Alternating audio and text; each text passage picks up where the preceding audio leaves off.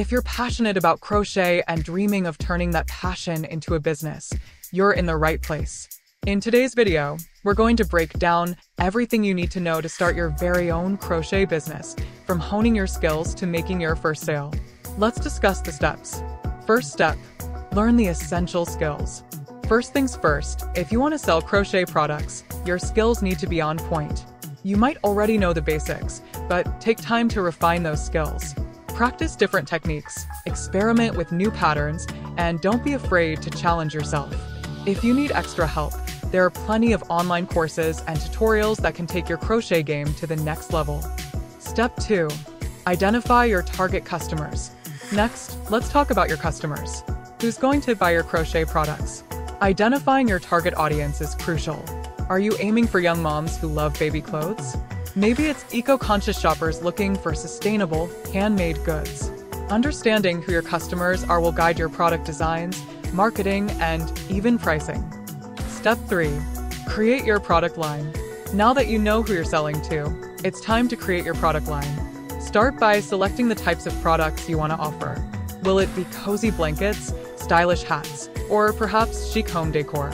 Once you've made that decision, You'll need to source high-quality materials and supplies. Look for durable, soft yarns and consider eco-friendly options if that's important to your brand. Now, here's where you can really set yourself apart. Create unique designs that reflect your personal style. Whether it's intricate patterns, bold colors, or minimalist aesthetics, make sure your designs stand out. Step 4.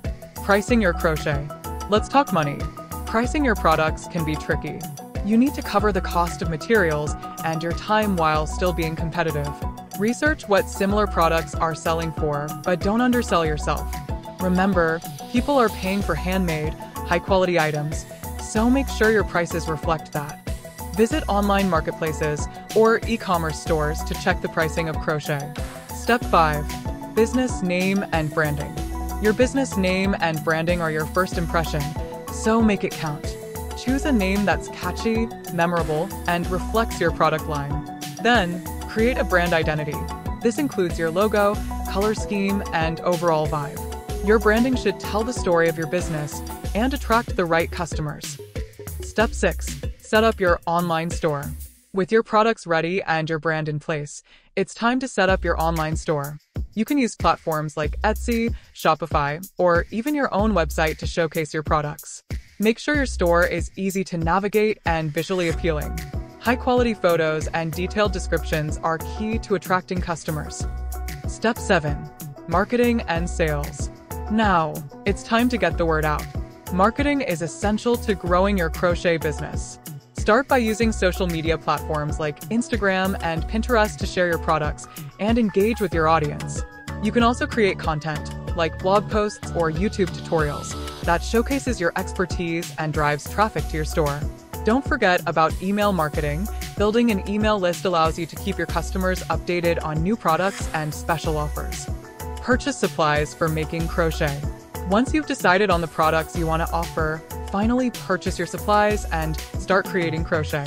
High-quality materials are key to making products that not only look great but also stand the test of time. If you're not sure where to start, check out to purchase your supplies online from Amazon.